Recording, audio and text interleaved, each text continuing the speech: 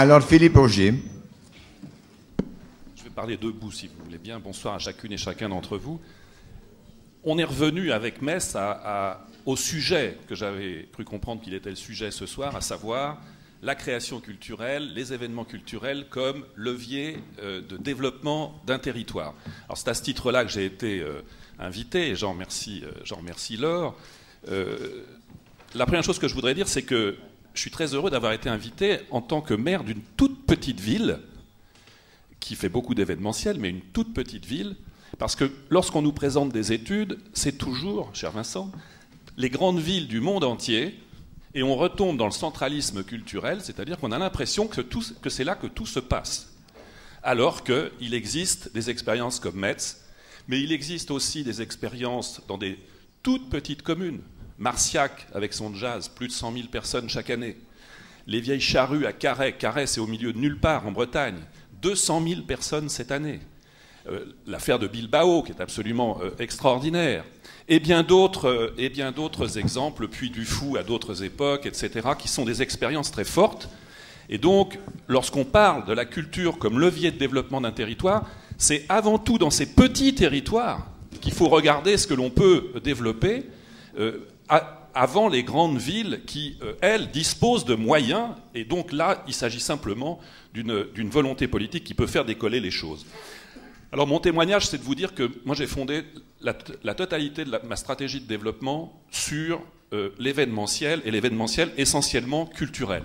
Simplement sur la base d'une observation simple, c'est que les gens qu'on cherchait à attirer, c'était les touristes, et que le tourisme avait complètement changé de nature, et qu'aujourd'hui, les gens avaient besoin de plus en plus de produits culturels, de produits du savoir. Ils avaient besoin de produits qui donnent du sens aux choses. Et donc c'est sur cette base-là que euh, j'ai cherché à euh, développer euh, les événements. Alors, la culture comme levier d'attractivité. D'attractivité pourquoi? Parce qu'on s'intéresse évidemment aux retombées économiques, avec tous les prolongements que ces retombées économiques peuvent avoir en termes d'emplois de toute, nature. Parce que ce sont les emplois touristiques, mais ce sont aussi les emplois culturels ce sont les, emplois artisanaux pour préparer euh, les décors. Ce sont les emplois euh, d'agences de communication qui promeuvent ces, événements. C'est une multitude d'emplois qui peuvent se créer. Et à l'échelle d'une petite ville, tout d'un coup, ça prend une importance absolument euh, considérable. C'est évidemment un levier de communication, je n'y reviens pas tellement c'est évident. Et puis surtout, c'est aussi un levier d'aménagement du territoire. Et alors là, pour le coup, les collectivités territoriales ne l'ont pas toujours compris. Vous savez, les, collectivités territoriales, finalement, on va les voir pour les taper. On a l'idée d'un événement où on veut développer une création ou un événement culturel, et alors on va taper l'institution, conseil régional, conseil général, euh, la ville, la communauté de communes, selon l'organisation territoriale. Mais on ne leur a jamais expliqué à quoi ça pouvait servir. Et on a un manque dans notre pays considérable de mesure des retombées des événements, qu'ils soient grands ou petits. Il est extrêmement important d'organiser cette mesure. C'est vrai d'ailleurs pour la culture, comme c'est vrai pour les grands événements sportifs. La première fois que pour les grands événements sportifs ça a été mesuré, c'était pour la Coupe du Monde de rugby 2007. Ben, je peux vous dire que depuis qu'on a vu les résultats de la mesure économique, tout le monde se bat pour avoir des grands événements sportifs. Parce que, évidemment, les retombées sont absolument considérables mais on ne les apprécie pas toujours. De la même façon qu'on est en manque considérable d'infrastructures qui puissent accueillir les événements culturels ou même qui puissent accueillir la pratique culturelle. Nous n'avons pas de salle de 15 000 places en France, nous n'avons que Bercy, qui est 15 000 places, qui est une, salle qui est totalement obsolète. Il n'y a pas une autre ville, il y a Bordeaux qui vient de déclencher la construction d'une aréna qui servira évidemment pour les, événements culturels, mais nous n'avons pas d'équipement qui puisse euh, recevoir de grands événements culturels au-delà de ce que peut contenir un zénith, ou alors l'étape d'après, ce sont les stades euh, sportifs qui ne sont pas toujours euh, adéquats pour pouvoir recevoir ces spectacles. Et puis, autre élément, un élément de cohésion sociale, à plusieurs, à plusieurs titres. D'abord parce que les événements peuvent déclencher une activité, euh, une activité collective. Et il peut se déclencher une véritable mobilisation dans une ville autour d'un événement qui a un peu d'importance. Et euh, pour ce qui est de la, dimension de la cohésion sociale, je pense que Fusillé en parlera beaucoup mieux que moi à propos de l'île 2004, où il s'est passé des choses absolument extraordinaires, mais je ne veux pas déflorer son, propos. De plus, l'événement euh, culturel euh, crée un sentiment d'appartenance et de fierté. Quelqu'un en a parlé tout à l'heure, je n'y reviendrai pas non plus. Et puis, cher Frédéric Mitterrand, l'événement culturel la création culturelle dans une ville donne effectivement ce désir de culture, car à partir du moment où sur un territoire se développe très régulièrement une activité culturelle, alors le désir peut naître, alors là d'ailleurs, dans le prolongement de l'événement, il faut organiser la pratique culturelle et l'accès à la pratique culturelle. Et là aussi, ce sont évidemment des emplois qui se créent. Je viens de vivre, je suis encore en train de vivre un événement tout à fait exceptionnel dans ma ville. Il se trouve que 2010, c'est le 150naire de la ville de Deauville, une toute jeune ville. Euh, et j'ai fait ce pari fou, avec l'ensemble de la population, d'organiser pendant un an au moins un événement par jour. On y est tellement bien arrivé qu'on a, on a organisé 480. Et évidemment, il y a des tout petits qui réunissent 30 personnes, et puis il y en a eu des grands qui ont réuni 20 000 personnes. Mais les trois quarts de ces événements étaient portés par la population. Et je peux vous dire que c'est une, une ville qui s'est transformée dans son mode de fonctionnement au quotidien grâce à cette euh, démarche événementielle. Et pour les trois quarts, ce sont des événements euh, culturels. Donc, vous voyez qu'il n'y a que des avantages dans, la vie d'une collectivité à organiser cette, euh, cet événementiel.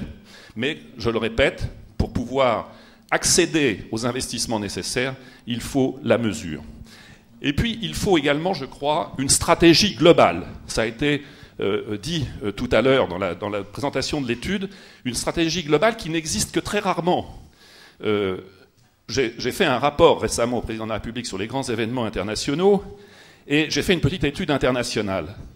Eh bien, très peu nombreux sont les pays qui ont une stratégie globale en termes de nature d'événements, en termes de calendrier, en termes de coordination.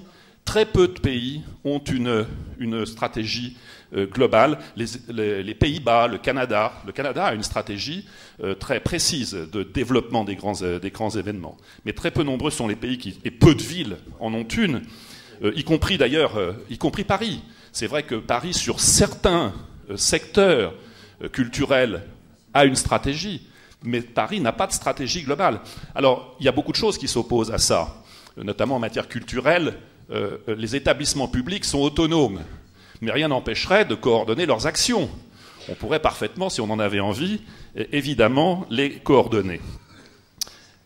Euh, donc, cette stratégie nécessite évidemment une, coordination. il y a euh, une bonne idée qui avait été émise par Marine Karmitz à Paris en termes de coordination, c'était de coordonner l'ensemble de l'offre culturelle du centre de Paris.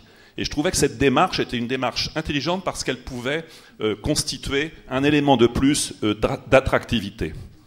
Et puis, il y a la stratégie aussi qui consiste à se servir mieux de notre patrimoine, d'un patrimoine mondialement connu qui peut être euh, utilisé à d'autres fins de promotion culturelle. Et je trouve que de ce point de vue-là, Ayagon, à qui vous faisiez référence euh, récemment, alors on est d'accord ou pas d'accord sur les choix, mais l'idée de se servir comme écrin des plus grands éléments de notre patrimoine, euh, de, notre patrimoine architectural ou historique, pour présenter de l'art contemporain, est à mes yeux une idée sur le plan culturel tout à fait formidable et sur le plan de l'attractivité absolument extraordinaire. Et on voit bien que euh, cette idée a, complètement relancé Versailles. Il y a la même politique qui se développe au Grand Palais et j'espère que ça se développera dans beaucoup d'autres endroits.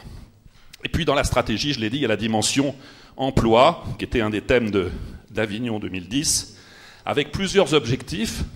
La durabilité de ces emplois, parce qu'il est bien évident que si on ne crée des emplois que pour le temps d'un événement, on crée une précarité qui n'est évidemment pas souhaitable.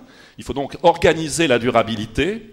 Et on sait bien que les emplois créatifs consolident les autres.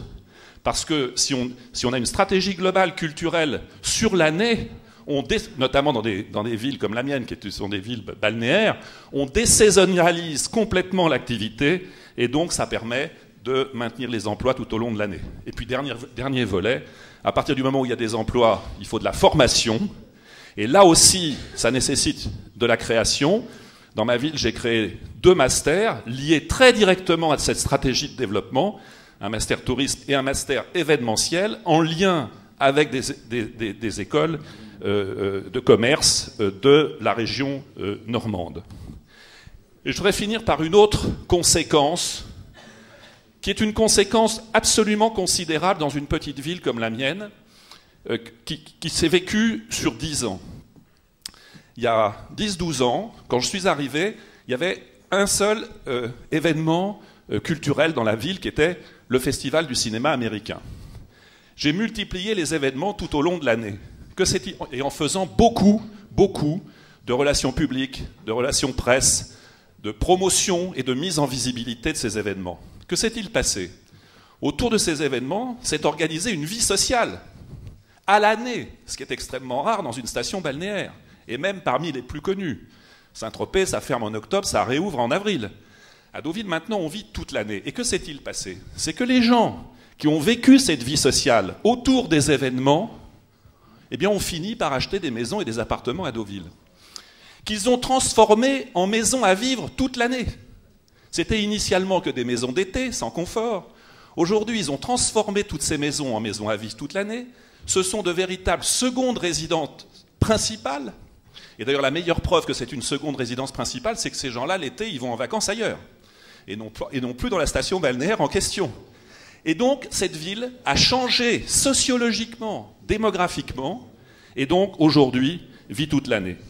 Donc, euh, en conclusion, je voulais juste rappeler que la culture sous l'angle événementiel est un formidable levier de croissance et de développement des territoires, à la, condition d'avoir une vraie stratégie. D'abord une volonté politique forte, j'ai quasiment terminé, car s'il n'y a pas la volonté politique forte avec les moyens, il y a un risque d'incompréhension au départ, et l'encouragement à la mesure est très important de ce point de vue-là. Une politique globale avec des outils. Il faut que les événements aient une légitimité sur un territoire, et pour ça, il faut bien avoir compris l'identité de son territoire. Et en conclusion, je peux vous affirmer, après l'avoir vécu, sur une période de dix ans, que ça marche à la condition de mettre tous ces ingrédients qui étaient d'ailleurs rappelés dans l'étude qui nous a été présentée tout à l'heure.